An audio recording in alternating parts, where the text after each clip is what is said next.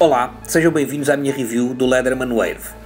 Devido às suas dimensões e peso, não considero esta multiferramenta adequada para a utilização nas pequenas tarefas do dia a dia. O Wave é mais indicado para tarefas mais pesadas, como bricolagem, por exemplo. Pessoalmente, tenho o meu Wave num dos carros da família para uma eventual emergência. Dimensões e peso: comprimento fechado, 10 cm, comprimento da lâmina, 7,37 cm, peso, 241 gramas. Para quem não conhece, o Leatherman Wave é uma espécie de canivete suíço mais evoluído. Digo que é mais evoluído porque aqui a ferramenta principal é o alicate e não a lâmina, como é o caso dos canivetes suíços comuns. Este alicate de pontas finas é suficientemente preciso para poder ser usado como uma pinça, para além do seu uso normal como alicate.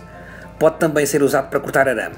O principal defeito que os utilizadores apontam a este alicate é o facto de não ter uma mola para afastar automaticamente os seus cabos, tal como tem a muitos outros modelos concorrentes, como por exemplo o Leatherman Squirt PS4.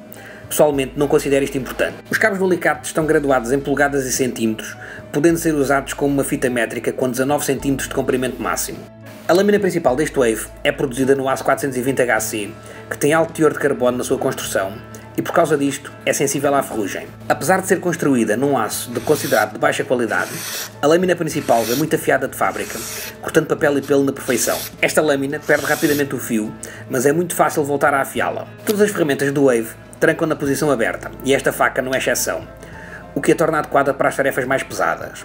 Esta lâmina está acessível a partir do exterior da Multitool e é possível abri-la apenas com uma mão, tornando o seu uso muito prático e conveniente. Numa situação de emergência, considero particularmente importante conseguir abrir o canivete com uma única mão. O sistema de tranca é o liner lock, que eu considero perigoso e frágil, mas é melhor que nada. Para além da lâmina principal, o Wave tem uma lâmina de salvamento serrilhada e sem ponta afiada, sendo ideal para cortar cintos de segurança e roupas sem perigo de ferir a vítima. Também esta é fabricada no ACE 420HC e é acessível com uma única mão a partir do exterior da multiferramenta. O sistema de tranca é também o liner lock. Outra das ferramentas acessíveis a partir do exterior é a lima. Um dos lados da lima é revestido a diamante e pode ser usado para afiar facas, enquanto que o outro funciona como uma normal lima de madeira e metal. A lima também tranca com liner lock, mas não permite a abertura com uma única mão. A última das ferramentas acessíveis a partir do exterior é a serra, que é muito eficaz a serrar madeira. É mais larga na base, onde se encontram os dentes, e mais fina na parte de cima, facilitando bastante o corte. É incrível como uma serra deste tamanho consegue ser tão eficaz. A serra também tranca com liner lock e não permite a abertura com uma única mão. No interior da Multitool temos uma tesoura de pequenas dimensões, pontas afiadas e muito precisa. Gosto bastante desta tesoura e considero-a superior à do Juice S2, mas não tão boa como a da Victorinox. A tesoura tranca na posição aberta através de um mecanismo semelhante ao lockback. Todas as ferramentas acessíveis a partir do interior trancam usando este mecanismo. Ao lado da tesoura está um adaptador para chaves de precisão, com uma ponta de fendas e outra Phillips. Uso regularmente estas chaves para apertar as hastes dos óculos de sol. No mesmo cabo temos ainda uma chave de fendas de grandes dimensões, suficientemente forte para ser usada como uma pequena alavanca para abrir uma lata de tinta, por exemplo. No outro cabo podemos encontrar um abre-latas que também serve como tira-caricas. Nunca usei estas ferramentas. Ao lado do abre-latas temos o adaptador para os bits da Leatherman.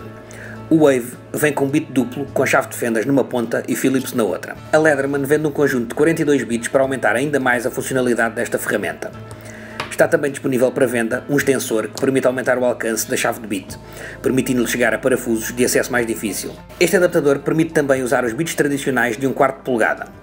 O adaptador de bits é a ferramenta que mais uso no Wave, sempre que é necessário apertar ou desapertar um parafuso Torx ou Allen, por exemplo. O preço algo elevado pode dissuadir potenciais compradores, mas há que ter em conta que estão a comprar não só uma ferramenta muito bem construída, útil, versátil e robusta, mas também 25 anos de garantia.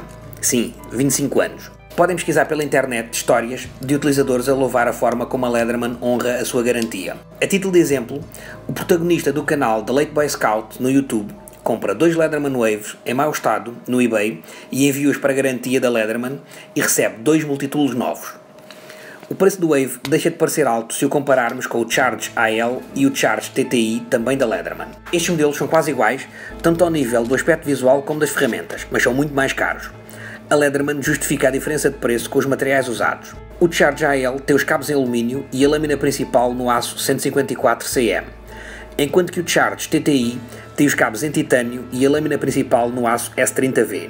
Na minha opinião, o Wave apresenta uma relação qualidade-preço muito superior às dos Charge, não havendo justificação real para gastar mais dinheiro para comprar os modelos mais caros.